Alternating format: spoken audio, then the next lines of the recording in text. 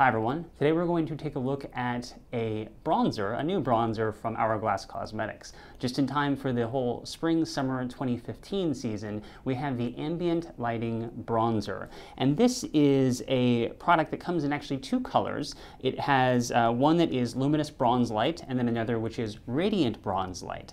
The concept behind these is it is a combination of the brand's very popular ambient lighting powder highlighters that come in a wide range of shades shades, varying levels and undertones, uh, levels of shimmer and undertones of color. It seems like they've taken two of their most popular uh, ambient lighting powders. We have the ambient uh, luminous light and then also the ambient um, radiant, which is a, a bit more of a shimmery gold tone, whereas the luminous, luminous here, the luminous is more of a champagne color, and that's actually here we have the luminous bronzing uh, powder, and this is the combination of the infusion of bronze tones along with that luminous highlighting powder. So the result is a bit of a kind of multi-dimensional bronzer that adds a bit of an luminosity to skin without adding overly or rather obvious shimmer. And that's actually something that's important to point out because when you look at the actual product itself, the amount of shimmer that appears to be in the product is intense. You look at it and you're like, oh my God, this is like just a straight up highlighter, you know, that will absolutely not be appropriate for daytime. Not the case. I'll actually uh, show you uh, why that is the case here in just a moment.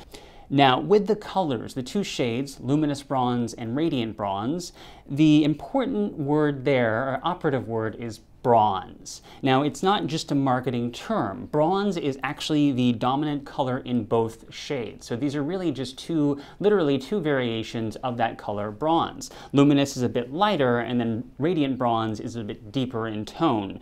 Bronze is inherently a naturally warm color. It's going to have a blend of brown tones and coppery tones and some gold as well, all of which have, of course, that warmer undertone. So I'm actually going to show you really quick how this actually looks going on skin, you know, really kind of that first, you know, that first glance, whether it pulls overly warm on skin, you'll be able to kind of see how it looks because I'm just going to put it on really quick for you. So, Okay, of course, with bronzers, no one really bronzes in a, or tans rather, in a perfectly uniform fashion. So you don't want to be, you know, too uh, concerned with exactly getting it, you know, just right in terms of the application.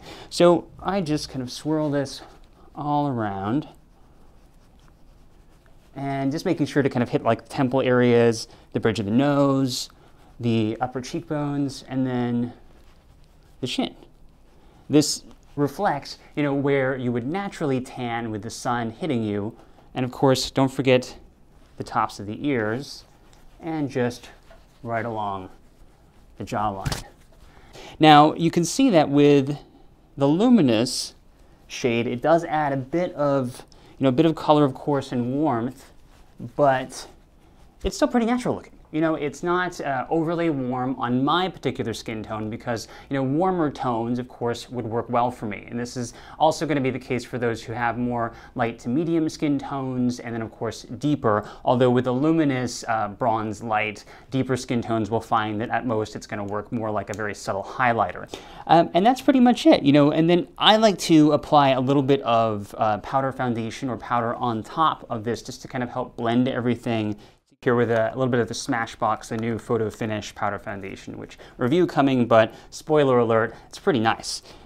Now, with bronzers, you, uh, of course, can add a bit of a contour effect you know, to skin because it does, you know, give you that nice kind of illuminated, um, you know, finish and it naturally enhances your cheekbones, you know, in other areas of your face. The key is a natural enhancement. You don't want to use a bronzer, especially not one like this that has obvious warm tones in as a contour if you're going for that very structured, you know, contour technique along the cheekbones, bridge of the nose, those sorts of things. Because not only will that subtle highlight fight against the contour effect when you're trying to create a shadow to recede and create, you know, that kind of definition, and then also with the warm tones of a bronzer like this, an actual bronze bronzer, the highlight, or rather the, sorry, the contour uh, effect is also, it's not gonna look as natural as it would if you were just using kind of a neutral or a more neutral flat brown or taupe color depending on your skin tone. Now, is it worth it? That's the question.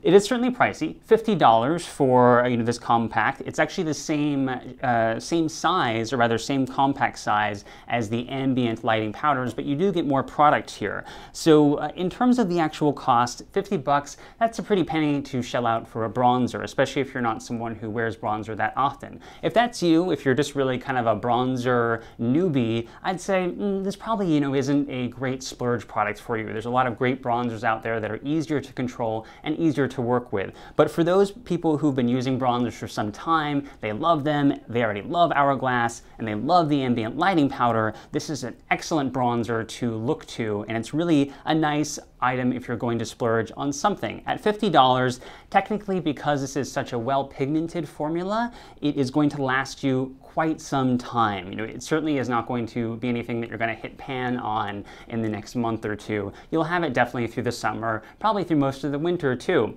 So that's something to consider. It is fragrance free, and because all of those qualities that I mentioned, the fact that it does have rather beautiful color, you know, if you have the skin tone to match, it does add a nice luminosity to skin without visible shimmer, and because also that it will last you quite some time, it did earn a best in Beautypedia.